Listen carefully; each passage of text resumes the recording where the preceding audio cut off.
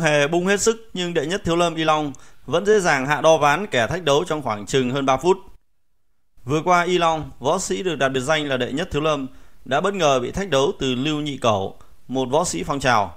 Tưởng chừng Y Long sẽ không bận tâm tới lời thách đấu này, bởi Lưu Nhị Cẩu chỉ là gã vô danh với giới võ lâm thì thật bất ngờ, đệ nhất thiếu lâm lại lên đài giao đấu với đối thủ vào ngày 29 tháng 4 vừa qua. Với sự tranh lệch hoàn toàn về đẳng cấp và kinh nghiệm đánh đài, Y Long chiếm thế áp đảo hoàn toàn trước Lưu Nhị Cẩu. Ngay sau hiệu lệnh bắt đầu, Y Long đã bắt bài cú đá của Nhị Cẩu và quét trụ, khiến cho đối phương nằm sàn. Sau đó, dù không bung hết sức nhưng Y Long vẫn liên tục dồn đối phương vào góc võ đài và tung ra những cú đấm và đòn chân sở trường.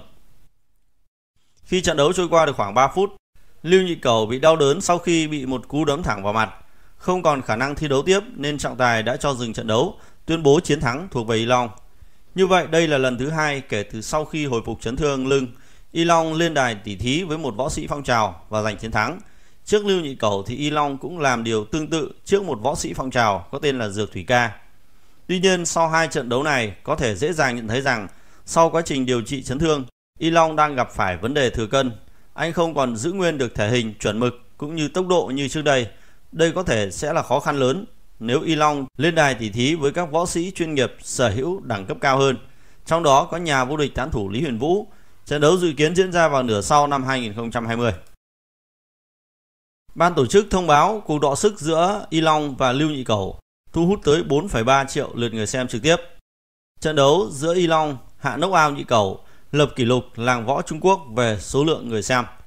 Trận chiến giữa đệ nhất Thiếu Lâm và tay đấm của biệt danh là Nhị Cầu là cuộc đọ sức tâm điểm tại sự kiện võ thuật ngày 29 tháng 4 tại Trung Quốc. Mặc dù trận đấu này diễn ra muộn nhất vẫn thu hút hàng triệu lượt người xem trực tiếp.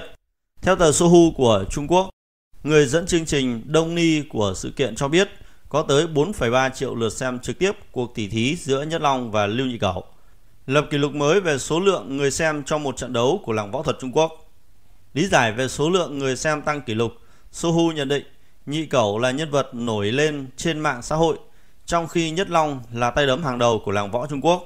Việc Nhị Cầu liên tục chê bai đệ nhất Thiếu Lâm trong các buổi livestream trước khi thượng đài đã thu hút sự quan tâm của cộng đồng mạng.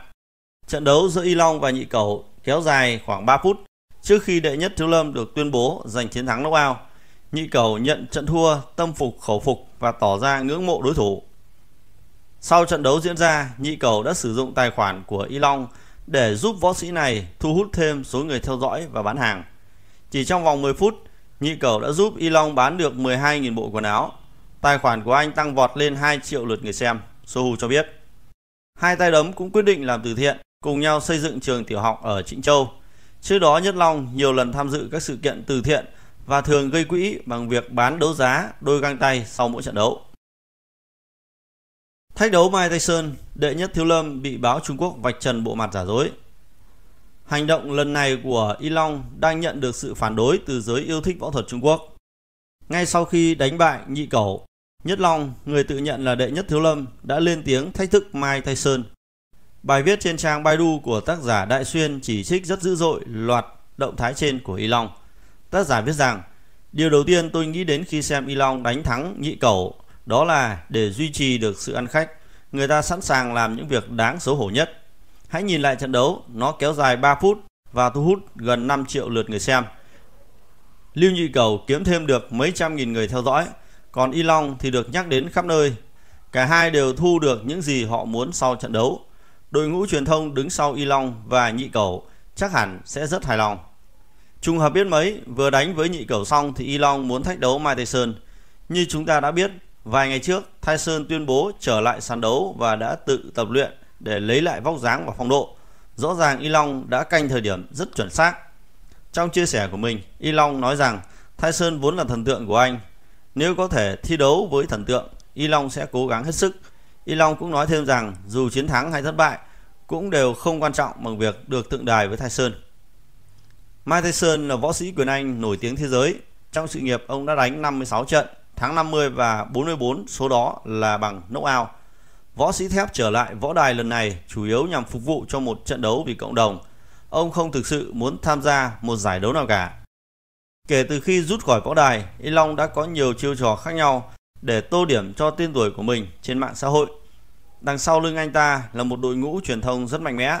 Anh từng nhiều lần thi đấu chỉ vì tiền. Bây giờ Y Long đột nhiên trở lại, thắng một trận đấu và đòi đấu với Mai Tây Sơn. Mục đích có lẽ cũng chẳng khác gì. Đây rõ ràng là một mánh lưới giả dối khác của Y Long và bộ sậu nhằm giúp tên tuổi của anh ta có phần nổi tiếng hơn. Còn Mai Thế Sơn dù có lúc gặp khó khăn nhất định, song sẽ không vì tiền bạc và Y Long mà làm mất đi thanh danh của mình. Bên cạnh lời chỉ trích, Đại Xuyên cũng phân tích thêm về tương quan sức mạnh của hai bên. Mai Tyson dù đã 53 tuổi nhưng vẫn sở hữu những cú đấm hủy diệt. Cho dù sức bền bị đặt dấu hỏi thì ông vẫn là một chiến binh mạnh mẽ. Trong khi đó, Y Long vẫn chỉ được coi là một đấu sĩ nghiệp dư và nếu đấu thật thì gần như không có cửa trước Mike Tyson.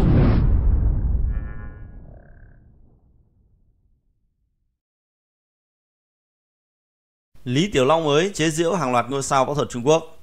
Phây Long, người được ví như Lý Tiểu Long, dùng nhiều ngôn từ mang tính chế giễu các ngôi sao điện ảnh võ thuật Trung Quốc trên trang cá nhân. Trang Sohu viết rằng Phơi Long từng lên tiếng chê trách những sai lầm trong quá khứ của Thành Long như ngoại tình với người mẫu Ngô Ý Lợi hay những lùm xùm với cậu con trai Phòng Tố Danh. Phơi Long chế giễu Thành Long không chỉ bởi những hành động của một người đàn ông mà còn là trình độ kỹ năng của anh ta. Bài viết tường thuật. Hôm 30 tháng 4, Thành Long tiếp tục là đối tượng để Phơi Long chế giễu trên trang mạng xã hội. Phim hài của anh ấy đã lỗi thời, doanh thu phòng vé cũng không thể chạm mốc 300 triệu nhân dân tệ. Anh ấy sẽ phải chịu khoản lỗ vượt quá 30 tỷ. Không chỉ một mình ngôi sao võ thuật Thành Long, nhiều tên tuổi đình đám khác cũng bị Phơi Long nhắc đến với những lời lẽ không mấy tốt đẹp. Ngay cả Jack Ma cũng nằm trong số này. Mặc dù Jack Ma có khả năng chiến đấu thực tế kém anh ta cũng đánh bại tất cả các ngôi sao võ thuật trong Gong Showdown, phim ngắn ra mắt năm 2017 do tỷ phú này thủ vai chính. Tôi có thể đánh bại cùng lúc ba Jack Ma, vì vậy tất cả các ngôi sao võ thuật không phải là đối thủ của tôi. Cuối cùng diễn viên Trần Quốc Khôn, người trở nên nổi tiếng nhờ thủ vai Lý Tiểu Long trong một bộ phim cũng bị Phê Long mỉa mai rằng anh ta chỉ giỏi bắt trước, điều đó thật vô nghĩa. Anh ấy không hiểu rõ về triệt quyền đạo những động tác của Trần Quốc Khôn không đủ nhanh và chính xác. Đẳng cấp ư, hãy vứt bỏ hết chúng đi. Trần Quốc Khôn chỉ biết diễn lại đôi mắt của Lý Tiểu Long thôi. Tôi từng nói với anh ấy rằng đừng đóng vai đó nữa. suhu dẫn lời Lý Tiểu Long hiện đại. Phơi Long xuất thân là một diễn viên hài. Anh được nhiều người biết đến hơn sau khi tạo hình với mái tóc và những động tác võ thuật giống với huyền thoại Lý Tiểu Long. Anh cũng tự nhận mình là hậu duệ của người sáng lập ra môn phái triệt quyền đạo. Thời gian vừa qua, Lý Tiểu Long hiện đại thường xuyên phát ngôn vào những ngôi sao võ thuật hàng đầu Trung Quốc.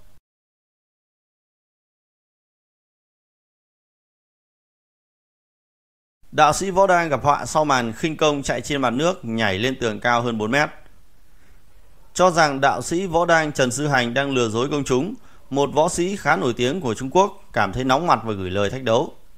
Trần Sư Hành là võ sĩ nổi tiếng thuộc môn phái võ đang, chính là đệ tử của Trung Vân Long, truyền nhân đời thứ 13 của môn phái danh giá Trung Quốc. Theo truyền thông Trung Quốc thì cách đây không lâu, Trần Sư Hành thực hiện một clip rồi khẳng định rằng ông có thể nhảy lên bức tường cao 4 mét nhờ vào thuật khinh công của mình. Trước đó nhân vật này cũng từng biểu diễn tiết mục chạy trên mặt nước có trải lớp ván mỏng bên dưới. Theo một số cơ quan truyền thông như Quim hay Sohu của Trung Quốc thì mới đây võ sĩ chuyên nghiệp có tên là Luyện Dụ Hiên người từng sở hữu chức đai vô địch Boxing WBC đã đứng ra thách đấu Trần Sư Hành. Lý do là bởi Luyện Dụ Hiên cho rằng Trần Sư Hành chỉ là võ sư dởm, nhưng phóng đại khả năng của mình để lừa dối công chúng. Tờ Quim cho hay Luyện Dụ Hiên tuyên bố chấp nhận đấu với Trần Sư Hành theo bất kỳ một quy tắc nào, kể cả thi đấu bằng binh khí. Luyện Dụ Hiên nói rằng mặc dù anh chỉ tập luyện kiếm thuật trong vòng đúng 10 ngày, nhưng anh sẵn sàng đấu bằng kiếm nếu Trần Sư Hành muốn. Nếu đấu theo luật thông thường, Luyện Dụ Hiên với tuổi đời trẻ hơn, sẵn sàng chấp Trần Sư Hành một chân, một tay và chỉ dùng bên trái để ra đòn. Còn theo tờ Sohu, Luyện Dụ Hiên từng tập nhiều môn võ khác nhau như Taekwondo, Muay Thái, Boxing, MMA. Sau khi lên tiếng thách đấu, tay đấm này buông lời mỉa mai đối thủ như sau. Ông ta, tức Trần Sư Hành, chỉ như một vận động viên parkour. Ông ta không hề có kỹ năng chiến đấu nào. Ông ta từng nói rằng ông ta có thể nhảy từ tòa nhà 10 tầng xuống đất mà không hề hấn gì. Điều đó thật lố bịch. Nếu ông ta dám nhảy từ tầng 5 xuống, tôi sẵn sàng làm bất cứ điều gì mà ông ta muốn. Theo Baidu thì luyện Dụ Hiên là võ sĩ chuyên nghiệp, sinh năm 1989, khởi đầu là một võ sĩ taekwondo, sau đó chuyển qua boxing, song đã giải nghệ. Dụ Hiên có tập thêm một số môn khác, trong đó có mây thái với mục đích chỉ để làm giảm cân. Cân nặng hiện tại của Dụ Hiên là 83 kg, nhưng anh tuyên bố sẵn sàng ép cân xuống còn 65 kg, nghĩa là tương đương với hạng cân của Trần Sư Hành để thi đấu. Hiện tại chưa rõ Trần Sư Hành sẽ phản ứng ra sao trước lời thách đấu của luyện dụ hiên. Tuy nhiên theo Kim, Trần Sư Hành chắc chắn sẽ gặp họa lớn nếu chấp nhận giao đấu với luyện dụ hiên dù theo bất kỳ quy tắc nào, ngay cả được chấp một chân và một tay.